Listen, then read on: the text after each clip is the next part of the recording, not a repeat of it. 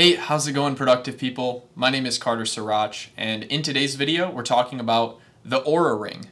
And the Oura Ring is this great wearable ring. You can see on my hand right now. So that's the Oura Ring. Pretty simple, pretty sleek. This is the stealth colorway that I personally have right now. And I really like it a lot. This is my third Oura Ring. So the Oura Ring is first and foremost a sleep tracker.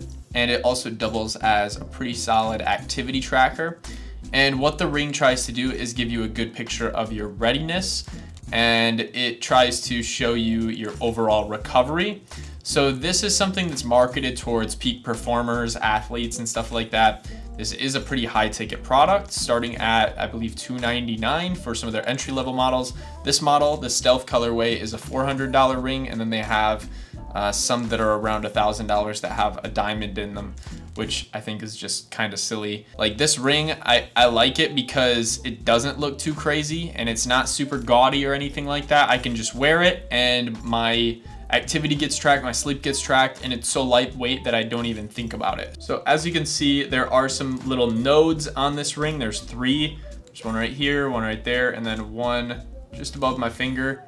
And these nodes, what they do is they track temperature, they track heart rate, and they also track movement, which is pretty cool. So through and through, this thing is on you on a daily basis, all night when you go to sleep, and it's pretty seamless and nice to uh, have your biometrics kind of just being tracked without you even thinking about it. I also have an Apple Watch, and I really like the Apple Watch for like activity tracking and whatnot, but the fact that, you know, the battery life on this isn't super amazing and it's this big red thing that has to go on my wrist, uh, it's not ideal for every situation.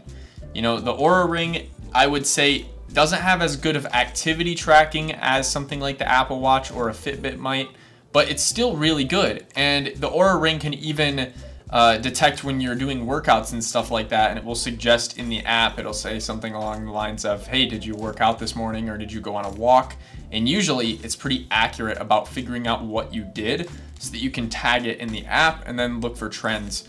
Uh, let's say you do uh, some high intensity like powerlifting or something like that. If you tag that on multiple days, then Oura might start to notice a trend and you'll see that reflected in the data in the app. So I've got the app opened up here and I'm actually just going to run through and talk about a few of the features. So starting out here, we have our calorie burn for the day at 177 and my inactive time, as you can see, is quite high. I've been working and sitting at my desk for most of the day, but I did get a workout in this morning. And that brings me to the next thing. If you are going to do any sort of weight training with this watch, you're definitely going to want to look out for uh, like scuffs and stuff like that. So I don't know if you can see that, but they are quite fine and they are just on the inside of the ring, but there are quite a few scratches on this ring just from trying to work out with it on and picking up dumbbells and barbells and whatnot. The front of the ring, on the other hand, doesn't have anything wrong with it, so it's kind of just on the bottom of my hand, which really doesn't really bother me with a ring like this. I'm not the type of person that has to have like all of my things in perfect condition. Um, I like, you know, my daily sort of tools and whatnot. I like to be able to beat them up. I like to have a camera that I can beat up. I don't mind beating up my ring. And honestly, I don't like having anything that's so nice that I'm scared to get a little scratch on it, but that might differ from what you are looking for in a wearable. Some people are more interested in the fashion aspect of it and want everything to look really nice. So if that's you, I mean, the Oura Ring, its durability is pretty good, but you are going to want to be careful with it if you don't want to scuff it up. Um, you're also going to want to make sure that you're uh, careful about the battery life with it. Now that I'm done with that tangent, let's jump back into the app. So as you can see, as I scroll through here, my readiness is an 80 today and the app has suggested, uh, it says ready to go. You have a nice amount of easy days in your workout routine lately. If you feel good, how about switching to more intense activities? And what that's suggesting is that I just basically work out harder um, because I've had some light days and I'm actually just coming off of a weekend. So that's what it's telling me to do essentially. And an 80 for your readiness is pretty good. I would say it's kind of in the average range.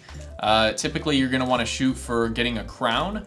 Um, and I didn't get a crown today on my readiness. But if I go down to the bottom of the screen where it says readiness and I click that readiness tab, I can see my past few uh, my past few days of Oura Ring readiness. As you can see, some of these in here have these little crowns on them, this 87 and this 91.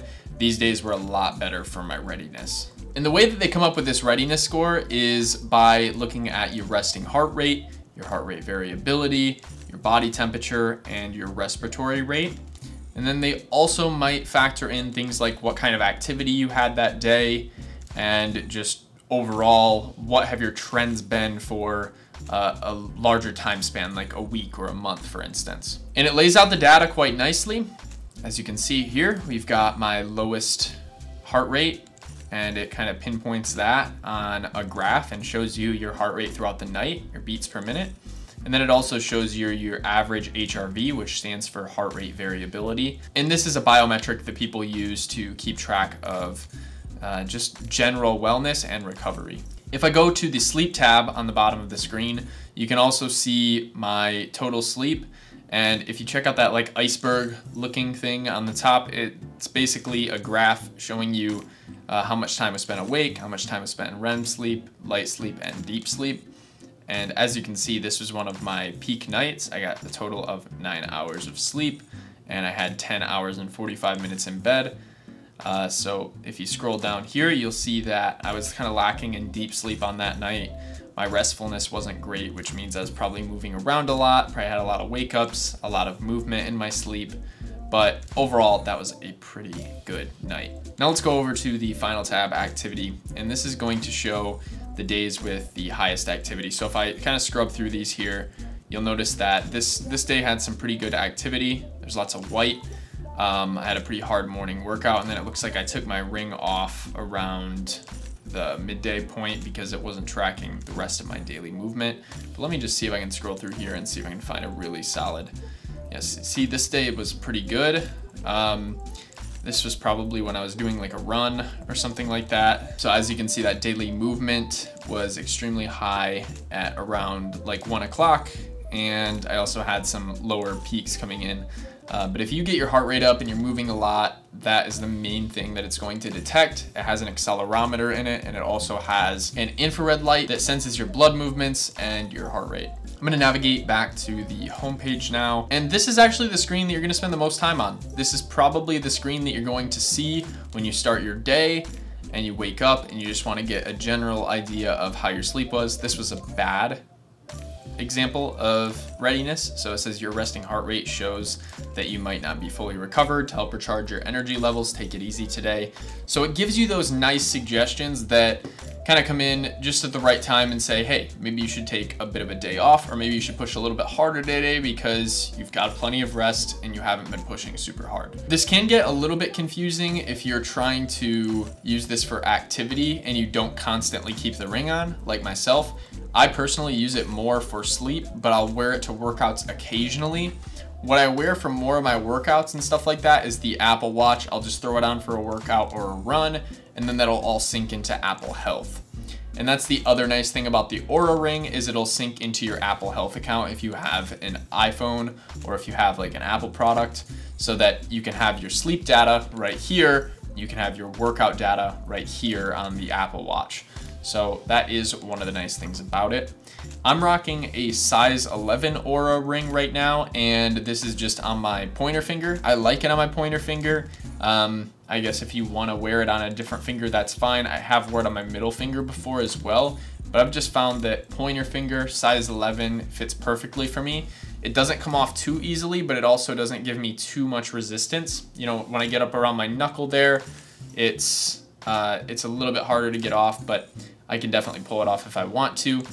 And uh, what Oura will actually do is they'll send you like a sizing kit and instructions for sizing when you do decide to order a ring, if you do want to get a ring. So my overall consensus of the Oura ring, I like it. It's a little bit pricey. It's not for everyone, but if you're a peak performer and you like nerding out about your sleep and you like to look at your sleep stats, it's definitely amazing for that. Another feature that I forgot to mention is that you can tag your days with different things. Like I can tag it if I have like blackout curtains or something like that that night, or if I sip tea before bed, or if I read a book, or if I reduce blue light.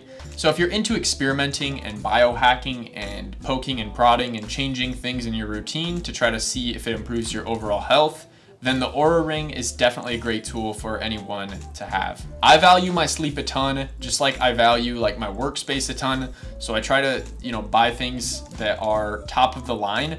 Like I try to get the newer MacBooks. I have a nice desk. I have a place where I can really enjoy being. Um, and I usually don't compromise on quality. Uh, so sometimes that does come at a cost. And same goes with sleep. I have a really nice mattress that I like. I also have uh, this nice ring because I think that it helps out a ton and it, it just makes sleeping in general a little bit more interesting and it gamifies it a bit as well. So definitely check out Oura Ring, consider getting one. I bought one for one of my clients, he loves it. Uh, you know, anybody that I've met with an Oura Ring, they usually like it. Anyways, guys, I hope you enjoyed this video about the Oura Ring and I'll see you guys in the next video. Peace.